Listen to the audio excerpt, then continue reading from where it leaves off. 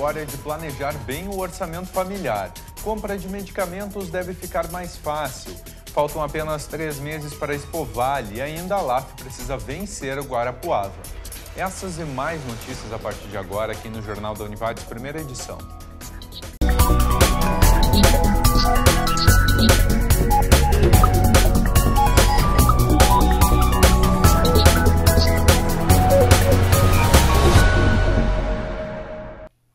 Olá, boa tarde. As retiradas de recursos da caderneta de poupança superaram os depósitos em quase 44 bilhões de reais no acumulado dos sete primeiros meses do ano, informou o Banco Central. Foi a maior evasão de recursos para esse período desde o início da série histórica em 1995, ou seja, em 22 anos. O movimento acontece em meio à recessão da economia brasileira e o aumento do desemprego e da inadimplência. A baixa rentabilidade frente a outras opções de investimentos também tem levado poupadores a fazer a retirada. Colocar as contas em dia é um desafio para as famílias brasileiras. Para quem não tem o hábito de planejar os pagamentos do mês, isso se agrava. Além disso, contas a prazo e o famoso cartão de crédito podem atrapalhar. Controlar os gastos do mês é compromisso de cada família. Contas de energia, água e internet fazem parte da rotina. Um orçamento mensal de entradas e saídas pode ajudar. Bom, é, é, é, fundamental que as famílias façam um controle das suas receitas e despesas. Nesse aspecto, é muito relevante que todas as pessoas na família participem e ajudem nesse controle. Uh, se a definição familiar é pelo uso de uma planilha, de um aplicativo, ou mesmo uma agenda, uma folha de papel, o instrumento utilizado para controle, para registro, não tem tanta relevância. A, relevância está, sim, em todos na família participarem e controlarem as despesas e receitas para que isso possa ser usado para a gestão financeira familiar. Fernando mora com o irmão em um apartamento de lajado. Lá, as contas mensais são divididas. É, geralmente então eu, eu analiso o, o pagamento em si, dou prioridade então para as contas do apartamento, condomínio, luz, que são contas que a gente não tem como fugir, né, do dia a dia. Então, no momento que eu vejo o que eu gasto, se sobra, que dá para ter um gasto a mais, eu, eu, eu disponibilizo, senão a gente acaba se segurando, né.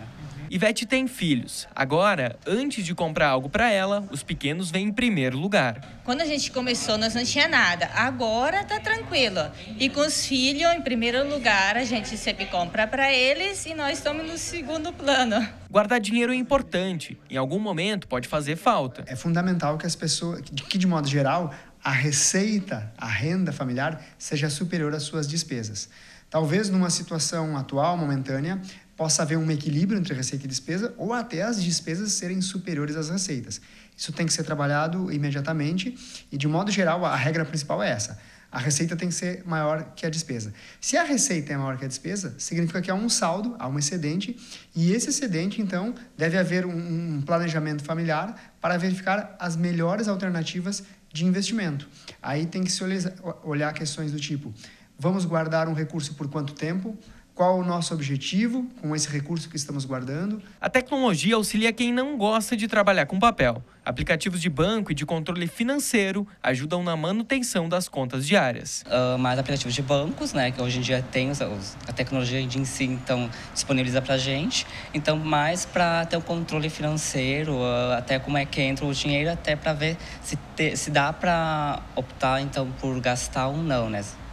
Tipo, maneirar um pouquinho com os gastos do dia a dia. Gastos com alimentação, transporte, lazer, moradia e estudo estão presentes no dia a dia das pessoas. Só que nem sempre é fácil controlar isso tudo. O conjunto habitacional Nova Morada 1 e 2 do programa Minha Casa Minha Vida, que fica em Novo Paraíso Estrela, tem previsão de entrega para setembro. No total, são 250 casas. As famílias vão pagar por 10 anos prestações entre 50 e 80 reais. No dia 23 desse mês, Paverama faz um leilão de automóveis, tratores, sucatas metálicas e móveis escolares. O leilão vai ser na Câmara de Vereadores às 10 da manhã e a seguir novas regras para as vendas de medicamentos.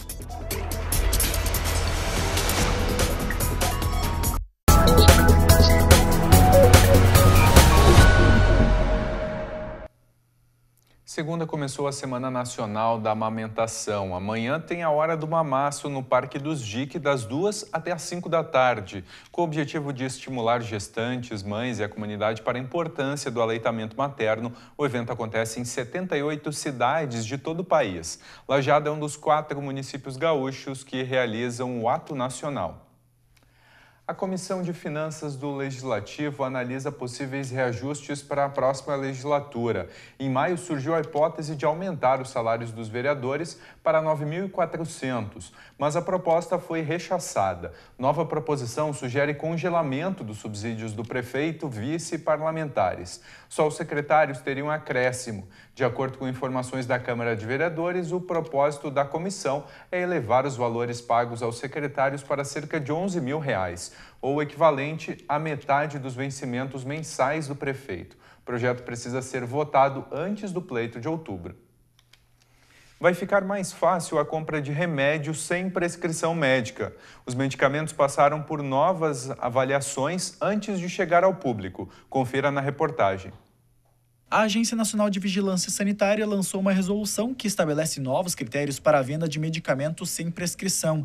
Vão ser avaliados o tempo mínimo de comercialização, perfil de segurança, indicação para tratamento de doenças não graves, indicação de uso por curto período, ser manejável pelo paciente, baixo potencial de risco em caso de mau uso e ainda não apresentar potencial de dependência. Se esses medicamentos comprovadamente apresentarem segurança suficiente para que eles possam ser incluídos na lista de medicamentos isentos de prescrição, isso amplia, no mínimo, o acesso. Os novos critérios mudam a relação entre o usuário e o medicamento. Além disso, o papel do farmacêutico passa a ser mais importante. Com a RDC 98, que estabelece uh, critérios para a inclusão de medicamentos em um tipo de conceito ou em outro tipo de conceito, sabendo uh, de prescrição ou isento de prescrição, obviamente que a expectativa é que se melhore acesso que se tenha realmente relações de efetividade, mas especialmente de segurança.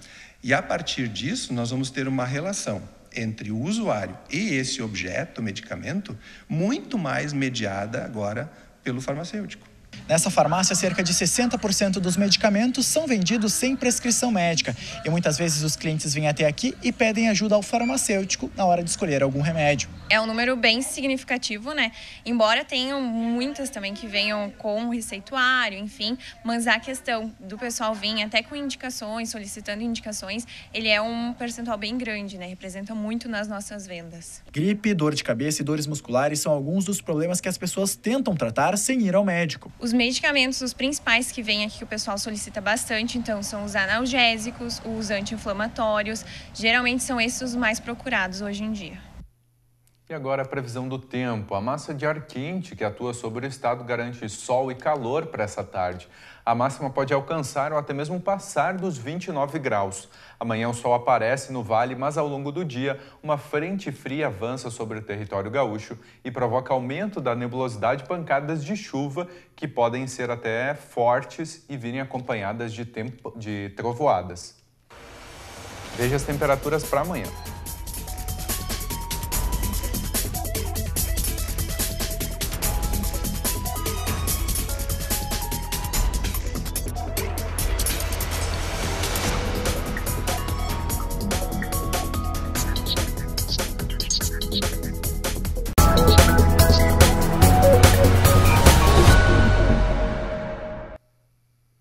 Prazo para o empregador doméstico pagar o documento de arrecadação do E-Social referente a julho termina hoje.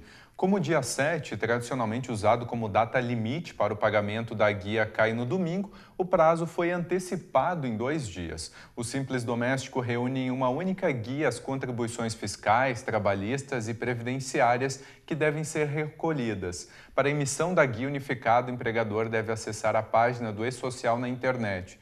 Se não for recolhido no prazo, o empregador paga multa de 0,33% ao dia, limitada a 20% do total. A Secretaria de Planejamento e o Corpo de Bombeiros de Lajeado iniciaram uma ação que vai agilizar o processo de aprovação de projetos sob encaminhamento de protocolo. Através de decreto municipal, fica definido que até o dia 31 de dezembro desse ano, os projetos e obras podem começar após o profissional responsável pelo serviço ou o proprietário protocolarem a demanda nos bombeiros. No final da obra, será exigido alvará do Corpo de Bombeiros para a liberação do habite Faltam três meses para a Expo Vale 2016. A vigésima edição da feira acontece no mês de novembro no Parque do Imigrante, em Lajeado. A última edição da Expo Vale em 2014 teve 140 mil visitantes. Cerca de 56 milhões de reais foram negociados durante a feira. A expectativa deste ano é manter esses números, já que o cenário econômico nacional não é dos melhores. A venda de ingressos para os shows começa na segunda-feira. Atrações nacionais marcam presença neste ano. Na, no dia da abertura, né, no dia 11, nós vamos ter a apresentação do Grupo TOL, totalmente gratuito não se paga nem o ingresso para a feira, então quem quiser já aproveitar para visitar a feira e, e uh, posteriormente uh, assistir a apresentação do grupo TOL, está convidado, né? Nós vamos ter essa, esse, digamos, presente de aniversário aí da, da feira para a comunidade. E posteriormente, então, nós vamos ter uh, dois shows no sábado, que são com as duplas João, Frederico, João Neto Frederico e Pedro Paulo e Alex.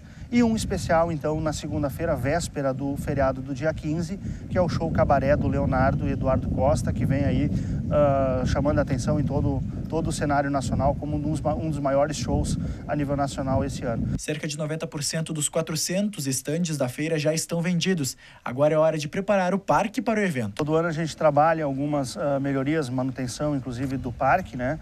E a prefeitura tem sido sempre parceira nesse ponto, então a Secretaria de Obras, ah, através do secretário Osmar, já está ah, com to toda a sua equipe, todo um planejamento feito lá, algumas coisas até já, já foram realizadas e a comissão organizadora vem também acompanhando Uh, esses trabalhos, né? Algumas obras também ficam por conta da própria feira. Então, todo, toda a edição a gente também tenta uh, melhorar e deixar um pouquinho uh, desse legado também para o parque, para que cada vez ele tenha uma estrutura mais adequada, não só para receber uh, os eventos, como as feiras que são realizadas lá, mas também para que a comunidade possa uh, ter um uso mais adequado daquele espaço público que hoje é utilizado para as mais diversas finalidades, entre lazer e esporte, por exemplo. A Expo Vale 2016 acontece entre os dias 11 e 20 de novembro. E a seguir, a LAF enfrenta o Guarapuava e precisa vencer.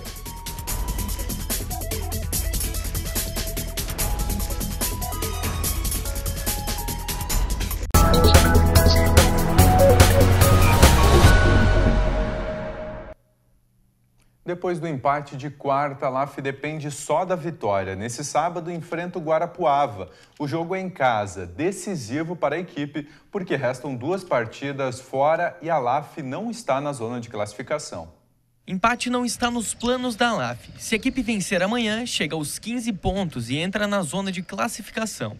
Mas para isso, alguns ajustes estão sendo feitos. Acertar o passe. No último jogo ficou é, nítido que a ansiedade é pouquinho ultrapassou o limite natural da, do nosso jogo. É, fazer com que o nosso jogo de linha 1, de abordagem de linha 1 também entre, para que eles não criem ou não tenham tanto espaço. E aí a gente começa a projetar os três pontos. Mas para que a gente é, consiga fazer tudo isso, tem que ter equilíbrio emocional. Lucas acredita que a equipe evoluiu. Para esse jogo, além de acertar o passe nas quatro linhas, a bola precisa entrar. Falta de sorte, a gente diz, é falta de competência, tem que fazer os gols. A gente teve chance, teve muita bola na trave, no goleiro linha também, às vezes tem que dar mérito ao adversário, o goleiro deles teve uma noite inspirada. E fazer diferente é, é somente isso, é conseguir ter a competência de colocar a bola no gol, que é o que vai nos dar o resultado, porque intensidade de jogo, marcação e o que o Giba vem pedindo, a gente está conseguindo fazer. Na partida anterior, Carlão estava suspenso. Para sábado, ele reforça a equipe. É, amanhã é um jogo completamente atípico dos outros que a gente teve, né? Porque é, não interessa outro resultado para a gente que não seja a vitória. Né? O empate não, não, nos interessa, muito menos a derrota. É, a gente vem pecando ali no, nos jogos. Né? Esse último jogo, por exemplo, três bolas na trave que, que, que a bola bate e, e, não entra. Então a gente tem que fazer com que esses detalhes é, virem a nosso favor para que, que, a, que a bola comece a entrar no gol e a gente consiga é, a vitória que, que vai nos encaminhar para uma classificação. Torcida faz a diferença. Nesse jogo, ela pode ser o sexto jogador. A nossa torcida aqui uh, melhorou muito desde o tempo que eu cheguei aqui para até hoje. É uma torcida que participa, que nos incentiva o tempo todo. Acho que todo apoio é bem-vindo, então quanto mais pessoas vierem nos prestigiar, nos apoiar e principalmente no, no, nos empurrar para a vitória é muito importante porque é um momento decisivo, delicado e a gente precisa do apoio de todos para chegar no nosso objetivo final. A partida é de últimas fichas para a LAF Guarapuava. A equipe de Lajeado tem 12 pontos, a Paranaense 11. Para as duas, a única solução é vencer. Mais notícias às seis e meia da noite no Jornal da Univate, segunda edição. E se você perdeu uma matéria ao longo dessa semana, amanhã às seis e meia da noite tem edição especial com as principais matérias da semana. Obrigado pela sua companhia, tenha uma boa tarde e um ótimo final de semana.